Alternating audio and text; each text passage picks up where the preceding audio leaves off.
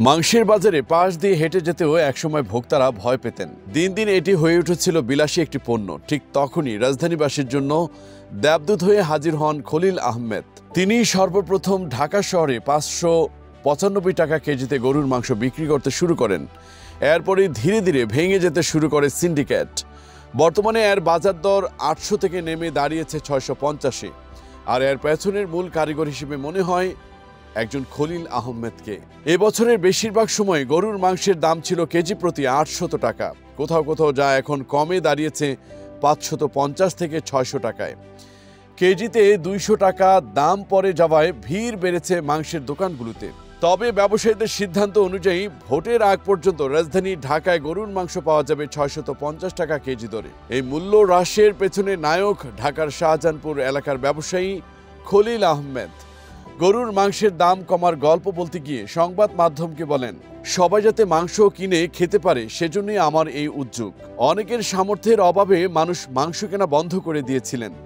অবস্থা এমন ছিল যে তারা দোকানের সামনে থেকে ঘুরে যেতেন, কিন্তু কিনতে পারতেন না।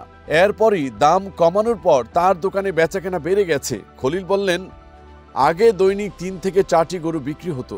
দাম কমার পরে এখন ত্রিশ থেকে পঁয়ত্রিশটি গরু বিক্রি হচ্ছে।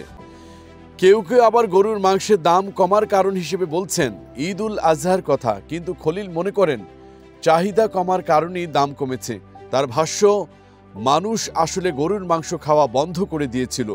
এ কারণে পশু বিক্রিও কমে গিয়েছিল। অসংখ্য গরু অবিকৃত থেকে যাচ্ছিল। তাই এখন খামারি ব্যাপারীরাও কম দামে গরু বিক্রি করছেন। তবে খলিলের এই উদ্যোগকে খুব একটা ভালোভাবে নেননি ব্যবসায়ীরা। গত তিন ডিসেম্বর জাতীয় ভোক্তা অধিকার সংরক্ষণ অধিদপ্তর একটি সেমিনারের আয়োজন করে। এতে উপস্থিত ছিলেন Bangladesh dairy farmers association, consumers association of Bangladesh Bangladesh trade and tariff commission, super শপের প্রতিনিধি এবং স্বয়ং খলিল আহমেদ। সেমিনারে তার কম দামে মাংস কেনার বিষয়ে আলোচনা হয়।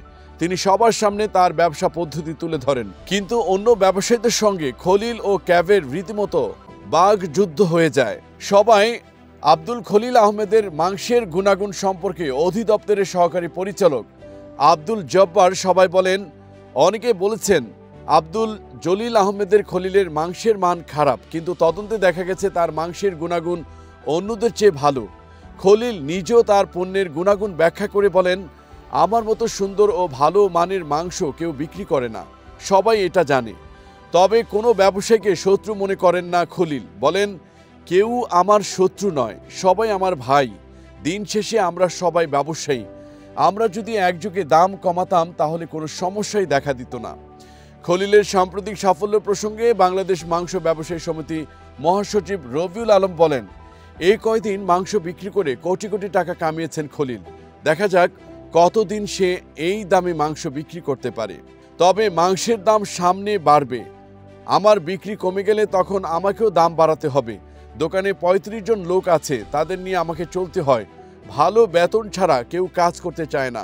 এই ব্যবসায়ী আরও বলেন, সরকার উদ্যোগ নিলে আমাদের দেশে গরুর মাংস পাঁচশো টাকা কেজিতেও বিক্রি করা সম্ভব। আমাদের মাংস ব্যবসায়ীদের মূলত লাভ তেমন হয় না, অনেকেই অনেক কষ্টে ব্যবসা করেন। তবে মিলেমিশে থাকলে সবার ব্যবসা ভালো হবে। কেউ ভালো থাকবে আর কেউ থাকবে না সেই ভালো ভালো নয় বলে মন্তব্য করেন এই ব্যবসায়ী।